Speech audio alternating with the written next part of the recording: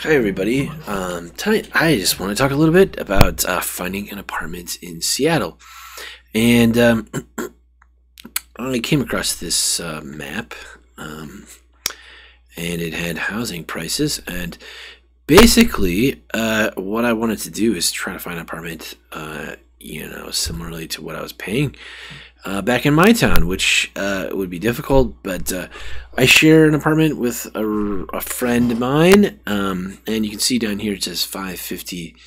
Some places are 550, and uh, other places are all the way up to 2,700 a month. So uh, I think some of that might be rooms and whatnot, but uh, you can see in general as you get to the south side, things kind of change. Um, so I got a bunch of different maps here. Uh, this shows uh, new housing. You kind of see uh, in detail essentially where the new housing is. And you can kind of see, uh, sorry about this, uh, that uh, there's quite a lot downtown and then kind of some details in here. So I think we can even zoom in a little bit more to show you some details. Um, but this is a great website. it's this Puget Sound Housing Growth 2001 to 2017 and it's uh, Puget Sound Mapping Project, Washington State Department of Commerce. There's also this one that's pretty helpful for uh, understanding the uh, ethnicities of the areas, and you can see on the far right here um, that uh, things uh, have changed a bit. Quite a lot of African Americans, uh, kind of predominantly on this side of town. Um, and then uh, you can kind of see that uh, there's some Asians kind of on uh, this side of town, right in here. And then here it's kind of centralized to uh, this area here, and then maybe over here. Uh, so that was a pretty interesting map, and this is part of Seattle.gov. You can just search for race and race and ethnicity, and it says population density by race categories. So uh, this is a really cool one. This is the Seattle Police Department data maps, um, and it's the Seattle Police crime data. And I changed this to the last seven days. So you can kind of see uh, if you're looking for an apartment, um, basically the crime is right in that area. Um, and I think we can even make this a bigger picture and maybe even uh, zoom in if we can. Let's see. There we go. All right, maybe zoomed in a little too much. So, uh, but you can kind of see uh, some of the details about apartments. So there's a trade-off uh, in general. Is what I would say is that uh, as you uh, so basically, I'll show you a picture in a moment of all of downtown. But just wanted to kind of go through the data. So uh, but where I was looking for an apartment was kind of near the uh, University of Washington, which is kind of on. I basically divided Seattle into North Seattle and South Seattle, and then uh, uh Bellevue, um, and then everything in the surrounding areas. So here you can kind of see uh, where the intensive urban areas are. So you can kind of see some of this um, showing basically that. Um, and then also, you might be interested in just the medium household income, and you can kind of see that. Uh, well, the probably the the uh, poorest income is uh, right university district, kind of downtown, and then as you get to these, uh, you get hundred thousand dollars plus as you get out into uh, so, so I would say this map is pretty surprising, really, because you can see that uh, a lot of people are making between thirty-five and fifty thousand dollars, and that's kind of these green areas, and then even less, right? So you get uh, some of these darker areas uh, as you get, uh, or maybe even you see some of this as fifty to. Uh, 75. So it really depends on the uh, district, and you can probably figure out what your housing uh, and then this is like if you're interested in uh, family lifestyle, where those districts might be um, in Seattle. Um, and certainly there is a lot of residential houses in these areas, but then you have a trade off because how do you get to, to be downtown? So, uh, and uh, I, I, did see quite a lot of houses all over the place. We're going to get to a uh, bunch more maps still here. So, and then this is vacant housing, and I probably should have showed this first. So, surprisingly, citywide is about 8.1%. That's one in every 10 houses or so are vacant. And you can see that it might be even one in every four are vacant in downtown. So, maybe there's something, in my opinion, not really fair going on because why is it that uh, that just doesn't seem fair to me, right? So, some little neighborhoods that might be interested in looking into would be this one here, right? Um, and then in general, you can see vacant housing kind of not as much, but uh, you know, in general, the vacancies being downtown. Uh, which actually is kind of surprising to me just from a person. So, a quick little bit about my background is I'm very familiar with uh, New York, San Francisco, Chicago primarily, and then a bunch of other cities around the country. So I, I, am familiar with urban housing. I've lived downtown in quite a number of places, or at least close to downtown. Uh, and uh, I'm always looking for the coolest and hippest and just totally awesome spot. Uh, so, and then here is uh, people per acre, so you can kind of see some more interesting things. I don't think that these maps really help this particular map, in my opinion. Um, but it, it, it will if you kind of look at it more carefully. So, uh, and then here's another population density. Um, uh, it's ironic that this Seattle.gov doesn't have as good of one. This probably is also Seattle.gov, but there's you have to find it, I guess. So just make sure you look for population housing estimates in 2010 and you can look at this pause it look at it detailed uh, so this kind of shows some fine print here right? So you see that uh, there is a lot of density in these areas and then right in here right? So with this you might be on the peripheral where you'd find the more affordable housing uh, for example here. And then in downtown you know there's a little block here where you can see and then this area here and kind of in these areas so to populate but then again the vacancy rates uh, was also important. So uh, so although the population density might be high there's skyscrapers and all that. So and here's another per capita income so you can kind of see what's going on. Uh, I was surprised to see uh, that there are some little pockets along the water here of the uh, lake, um, and then you can kind of see the inner harbor, and then some little pockets of wealth here and here, and this being pretty wealthy, and as well as this. And I personally think over in this spot is pretty beautiful. Just if you look at the Seattle skyline, and my light is going crazy. Okay, guys. Uh, so yeah, I'll have to work on this in a second. Uh, let me see. There we go. Ah, ah. Well, there we go. Sorry about that. Um, so there's also uh, Washington State Department of Commerce maps. This one was that original one. You can click on this. You can't really click on that one there, but bring you one of the ones. And then there's a rail map. Seattle does not really have. A, I, I, don't quote me on this. So I know Seattle's working on a north side transit, and there's different maps that you can get. So Here's a little quick review of just what's going on nationally. So you can kind of see uh, Seattle. I've lived in San Francisco, and uh, I would say uh, housing prices are. Uh, I've lived at 16th uh, and Market and uh, off of Fourth Street there in San Francisco, which is really close to downtown. And basically, my rent was. I had roommates. I had two roommates or one roommate, and I would say it's you know if if rent is five hundred dollars in Seattle, it might be seven hundred in uh, San Francisco. So why are these numbers so different? And it's a San Jose being higher there by quite a lot. So and San Jose basically being the wealthiest in terms of uh, income. So I, I don't know about all these numbers. So uh, but there's population demographics page moderately helpful. I got some of the information here. This was actually where we got most of the maps with uh, just showing the uh, detail. King County website, um, which is not even the Seattle website. So, but this is the Seattle website here, and this had the. Uh, I think this was the popular census tract population. And some other details. And there's a, a lot of other places as well. So might as well check out the Wikipedia page. You can see that uh, you know Seattle has kind of changed a lot since the 1940s, being mostly white, and then today it's about 70% white.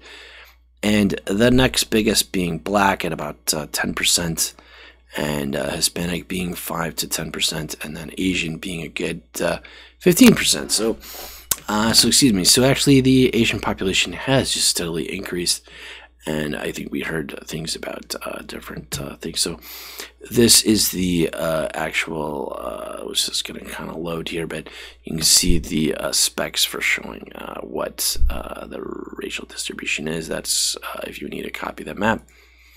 And again, this was another pretty cool. Um, a link just showing average cost of rent.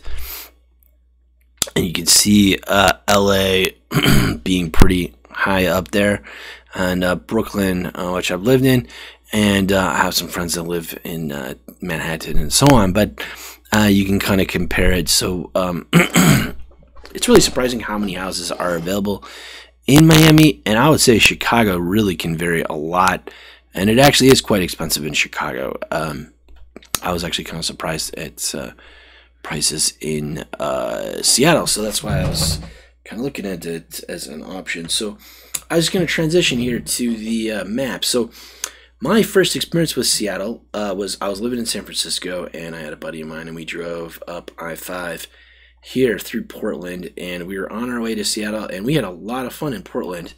And I think it was because we didn't really know Seattle that well at the time and it's hard to park and different kinds of things. But Portland turned out to be really fun. But today, I would say I do not like Portland at all. Um, uh, but Astoria is pretty cool. There's a lot of alternatives to Seattle if you're. I really recommend Astoria and uh, different other places. Um, and so the second time I came out to Seattle, I drove along the uh, Columbia River, which is one of the biggest rivers in the world and then we drove kind of up here and through. So, and then I've also driven all the way around Puget Sound as well. So I'm pretty familiar with the entire area at this point. Um, and I've been through Olympia and, uh, and Tacoma right here. So Olympia is the capital, and I've seen this monstrous thing. And I've flown into Seattle a number of times as well, uh, because I there's a plane that gets me for cheap uh, to where I live from Seattle. So this is Seattle. So basically, the thing that's hard to understand is uh, so where is the downtown? Where are the cool areas? Probably what you're wondering most. So from this map, if you fly in, the terrible thing about Seattle is this airport is very far. It says 10 miles, but man, it feels like a lifetime uh, distance. Uh, it's just when you fly in here, uh, the times that I've flown it flown in, it's usually been up from Portland or something, and you land here, and it just seems so far up from uh, downtown. Uh, but uh, maybe you see it otherwise. So, in terms of the downtown, we're going to zoom in here. I have this pretty much to scale. So, eh, the buildings are about 1.5. I changed the settings so you can. And it to me, it felt like the real thing when I changed it because I wanted to see the hills. Because if you're thinking about living here, need to think about quite a number of things. So basically, these days, what I've done is I drive, in on 90 and it pretty much dumps you. You take this exit and you head right into the city on I 5, heading all the way up north to Vancouver and uh, the other islands. So if you're familiar, there's a bunch of other places. So, but basically, the other major road here is I 5 running this way. And it is really nice and convenient. Uh, it's pretty fast to get on and off of Seattle, and then you can contact this over to Bellevue if you need, or just this. I believe some of these are toll roads, and you got to be careful about the bridges. Uh, but I believe this one is free here on 90. So, and I 5 is not uh, really a toll road as well. So, but uh, but in general, uh, there's a massive industrial zone here on the south side, which is kind of great for jobs, but uh, at the same time, there's not a whole lot of housing, but there is some new development heading in here. And if you take the ferry which I think is one way is for free, and the other way you have to pay, I think, like $8 or something just to walk on. It's really worth it because you can take the ferry. My favorite one is the Bremerton one. I didn't actually take the Bainbridge one yet because I wanted to kind of see what it was like. But you can take this ferry all the way out here, and then you can get a great view for just what it looks like in this harbor, and you can see different types of places to live. And my conclusion is that it's just hard. So I, I hate driving. So I, I really feel that uh, if you're going to drive to work and you're going to live way out here, forget about it. We're not even going to talk about that kind of stuff. You'll basically lose your job over the frustration of sitting in a traffic jam. And but there are certain roads that are super fast, so 90 and I-5. But once you get north, this is a major traffic jam area, and I'm sure it's also in here too as well, but maybe maybe pretty fast on this part. But there's other parts that just can be terrifying. So I'm not an expert on traffic, but you can look at traffic, and we might look at that in a moment. But this is primarily just a study of where to find housing. So uh, I stayed right down here. My favorite part was I just wanted to get a hotel, so I got a hotel here for about 100 bucks a night, and did that to see. Met with my friend. He met up with me, and there's there was even free parking that night there, so you could just pull in and we could talk. And uh, he said that he's lived in Seattle area for like almost 20 years now. So can't believe it. Uh, but uh, but in general, uh, I'm going to zoom in here in a second. But so take a very careful look at what's going on. This is a massive lake. My friend drank the water here and was like, "Whoa, it's fresh water." So even though this is connected, there's a lock here somewhere. I think it's right in here somewhere. Um, so the water is actually fresh water on this side. Um, but this is salt water and out into Puget Sound, and you cannot even see the end of this. It is so big, um, but in some ways it's actually kind of small as well. So, but there's all kinds of housing places and options. So I would say this is a good 45 minutes to just take this ferry, but it, it, it Bremerton is a very interesting spot um, for housing. But honestly, it's as pricey or even more pricey some of the stuff that we're going to look at. So, uh, so I might switch back here in a moment to look at prices. But in general, my criteria for this is I want to find something very cheap. I'm looking for like $500 a month, maybe share, do a roommate kind of situation, 750 at the very most, and you know, I'm basically wanting to live right downtown as close as possible. Um, and you know, there's uh, so what we're gonna do is we're gonna zoom in here. So super nice houses all on the coast here. I would say this northern side I'm not as familiar with. I just couldn't really see all the details, but it is nice. But it's just a real pain to get into downtown, and so I'm pretty much ruling that kind of stuff out. And as you see here, is that uh, so there's like basically this uh, Pike's Place Market uh, right down here. I think I'm going to show right here. This is kind of like the cool uh, central place just to grab sandwiches and stuff. And um, everything else downtown pretty much shuts down. It's pretty quiet. I walked from here over to the Space Needle, which is in here. We were staying, I think, right in here somewhere. Great little view. You can. I always wanted to share a boat with a friend and you know maybe figure that out here in Seattle. But uh, there's a lot of little docks here, which is great. Um, so there's really no boating options on this side if you look carefully. Um, but they do have. Uh, but anyway, so make a long story short, in terms of housing, uh, that's what I'm thinking about. So, uh, like, I'm basically considering walkable, like here to here at the most, right? So like I, I would say you, you know here to here is a comfortable walk and then here gets to be a little bit from here like because i was right over here i think. So i'd say it's you know it's a comfortable walk here to the space needle and back you know 20 minutes or so and then you're talking 40 minutes and you're talking a good hour to just you know walk across of all of this area. And that right there if you zoom out you can see 5000 feet. So this is about one mile roughly. So I just want to see the mountains so you can see the hills. So the hills make it quite challenging in some areas in here. So, and it's really hard to see, but we're going to look at this. So you can kind of see it doesn't look too hilly, but it's a big even this stuff in here can be pretty hilly right into the waterfront.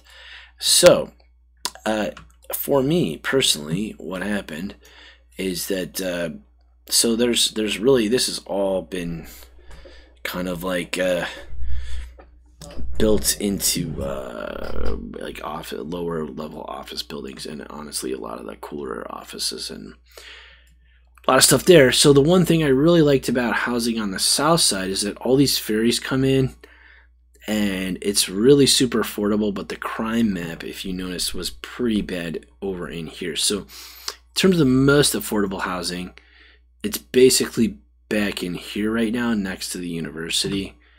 And then there's like a spot right over here. So I'm going to see, I'm going to pause this for a second and show you the uh, other map.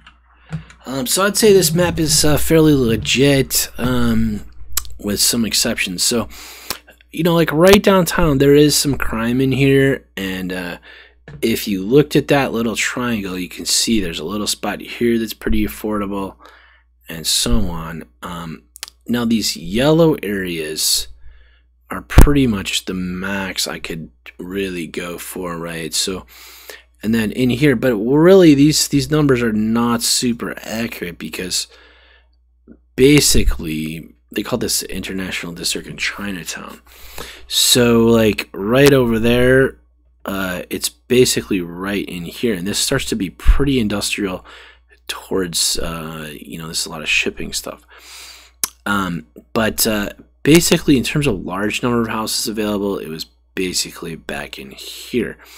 And I'll try to show you a map of that in a second, but let me switch back. So, uh, so, so basically what I want to do next is kind of show you a couple, um, just like housing maps showing just current property prices. I'm to filter it basically under 750 or maybe even less and see what we can uh, actually see here. Okay, so uh, I'm back here and I just want to show you. So if you go to uh, Marketplace on Facebook, which is becoming like fastly the, the way to find an apartment, um, Craigslist kind of used to be, um, and you can kind of see um, some of the uh, apartments here. So you basically got a lot of apartments right here downtown quite a number here in uh, Tacoma, and then you can kind of see uh, all the way down to Olympia. But so, uh, but honestly, for what I've been looking for, you're gonna see right here. So basically, I just set uh, this price to be. Uh, I'm gonna do it a little bit larger. Let's do 10 miles just to be uh, change this. So that's a 10 mile radius, and you can kind of see what's going on, right? So you can see that uh, you know there's like 31 apartments here 21 there and when we zoom in maybe it's even going to change this a little bit better so again you can start to see a couple of them showing up here capitol hill so the question here is that that i thought about kind of carefully is that so like if you go back to this other map on the uh, this. So Capitol Hill is this area, and honestly, it's a lot of downtown crowd that can't afford to live downtown and just comes over here, and then they kind of made their own little district up here. And it's not really my scene because I'd rather just like live really close to downtown and be able to walk over to Pike's Place Market. But downtown becomes so quiet at night, and then maybe this is where stuff starts to happen. So I'm going to add something else here. So if you do this place places, I think I can add everything. So it's going to load up here and start to load all the little stores and shops. So you can start to see where the uh, essentially the nightlife is and you can kind of see it's right in here and then of course there's just a ton here. So basically with the downtown stuff i mean i i, I don't mind it the downtown lifestyle sometimes. So uh, it just doesn't really feel it's a little bit different. So but the thing is is that i really like the academic lifestyle. So there's there's this whole other area here you can see there's kind of a lower queen and kind of a collection of places to eat here. It's just really nice to be able to walk outside like one or two or three blocks and have a cafe and some other things. But with this so here's the catch right? So when you look at this uh, so essentially downtown has tons of stuff, but switch off the places and you can see there's only really two downtowns. So it's basically here and then right over by the university is kind of a collection of buildings and there's kind of like a whole separate district here as well as some stuff along the waterfront in this lake union. So i'd say you know if you're looking for something basically this is downtown and then there's kind of a spot over here. These wikipedia links i love just you could see um, what does this say?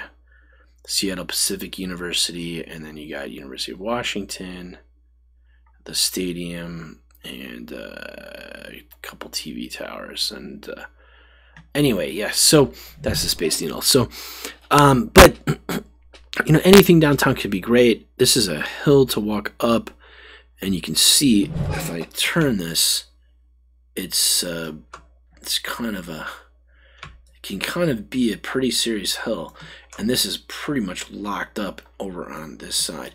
So if you're you know, and again, uh, walking from here, this is a reasonable walk. Like from here all the way over to here, it got dark on this side, and I kind of got scared and walked back.